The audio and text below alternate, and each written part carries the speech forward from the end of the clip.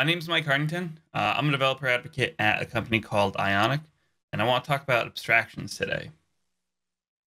Now, typically, when people talk about abstractions, they normally mean this this first kind, um, where we have a low-level concept, uh, whether it's an API or a language itself, and working with it can be either cumbersome or lead to a lot of potential errors uh, in the form of user error or code that is very fragile and uh, easy to break.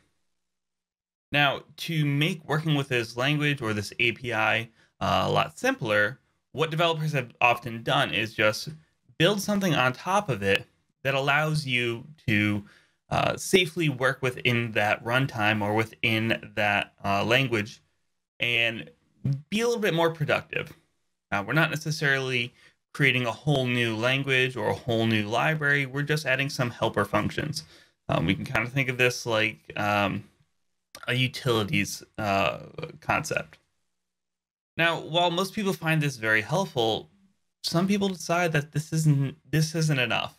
They want more, and so they build another abstraction on top of that. This one including more features, more safety, um, perhaps new concepts that are abstracting away the lower level concepts, and then so on, so forth.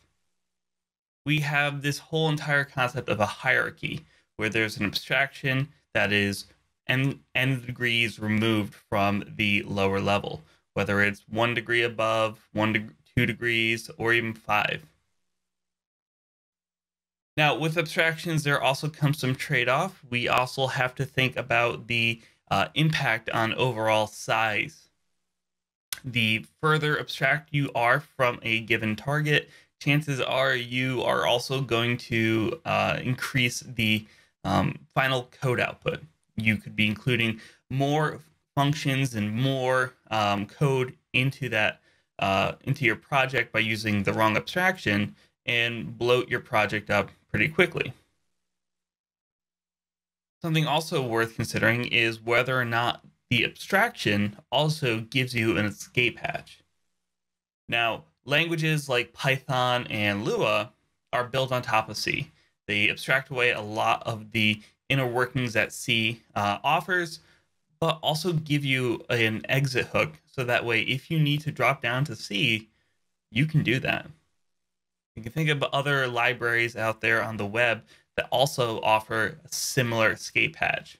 They may build on top of something like Canvas and abstract away a lot of the complexity that Canvas has.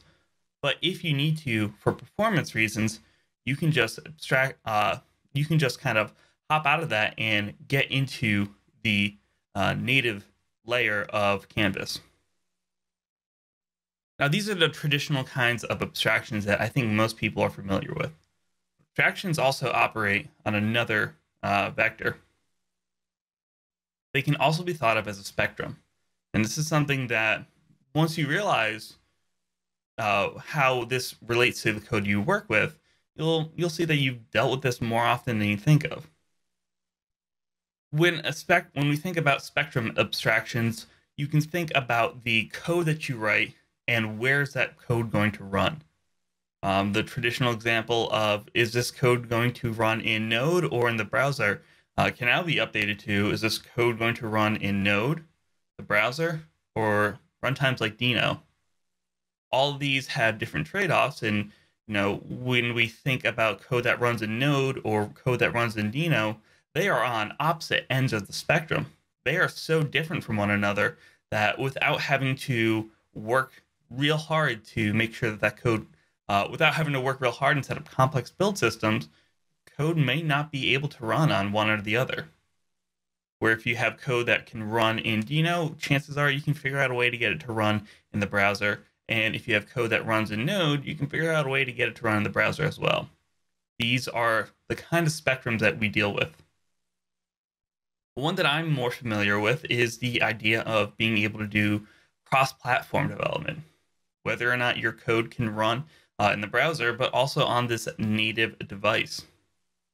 Now, if you start off at the web side, you're going to be able to get that code running onto the native device, but oftentimes you might run into issues where features don't exist on native or in a native context due to limitations on a web view or to just not having the APIs available in general. On the other on the other hand, if you start off in the native side, you know now have to go through a lot of work to get that code that runs well on the native device to work on the web. Doesn't always work out the same way.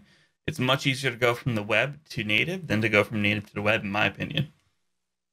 Um, this type of spectrum of cross-platform development is something that we deal with a lot at Ionic, and it's something that really drives us forward. Being able to have that nice sweet spot of I can write my code that knows how to run on the web and how to run on native very well. It's something that drives us and pushes us forward. So as you start to write your code and start to uh, create new projects and pick your libraries and pick the tools that are going to work best for you, ask yourself, is this code going to be able to run on the various platforms that I want to support? It could be JavaScript in the browser one day, or it could be JavaScript in your terminal via Node or Deno. It could be your native device, or it could be a new uh, set of devices that haven't even been invented yet. Keep the abstraction of not only how much of a code footprint does this abstraction offer, but where does this code run and how much work am I going to need to put in to get it to run on that platform in mind.